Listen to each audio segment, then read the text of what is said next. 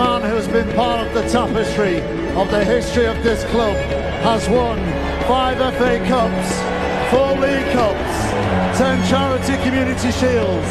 one European Cup Winners' Cup, one European Super Cup,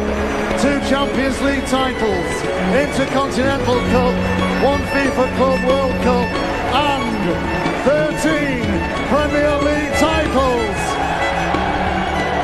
The impossible dream made possible